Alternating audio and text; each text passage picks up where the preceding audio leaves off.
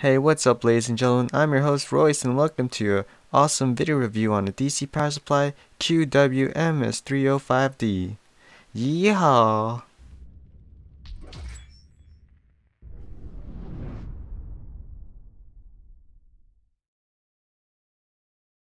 Ah, forget that.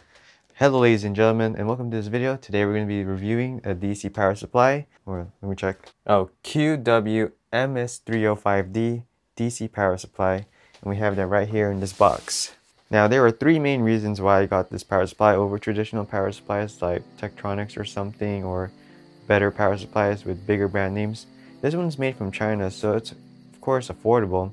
Second thing is that it's a variable adjustable so it can go from 0 volts to 30 volts which is great for very small electronic projects. If you're a hobbyist it's probably going to be a good pickup for you. And the third reason is that you can also adjust the current with this one, as well as voltage, of course. So now let's get right into this boxing and check it out and test it out and see if it's a good performing voltage power supply that you can pick up for any of your projects that you're going to be doing or anything to do with electronics. So as you can see on the box, made in China. And right here on the box, it also says what voltage rating I got. So here, 30 volts and 5 amps. Alright ladies and gentlemen, right off the bat, we've got some nice alligator connectors. We got instruction manual that we will read. Then we got a power cable that will power the power supply. And then itself is the power supply. Wow, it's pretty light. It feels like, let's see, it feels like five pounds. Here we have the power power supply itself. Eh? Nani? Oh, it turns on and then we can see it working.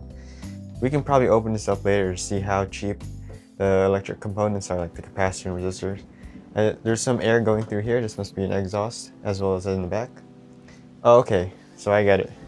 This is the exhaust, and in the back is the intake fan. So it brings in air, and hot air goes through here, so you don't want to block this side. And on the other side, oh, it's also exhaust. So that's pretty cool. Alright, so right now it's outputting 31 voltage so we can just bring that down a bit. Uh, this thing is hard to put in. Voltage right here.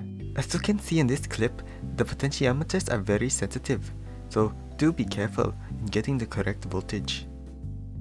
And there we go. There we go, turned on. Well, I would put it on the floor, but you know.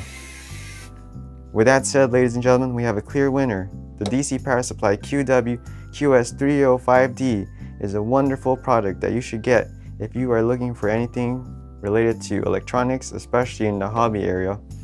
As you can see, and we've tested and confirmed that it is a great buy.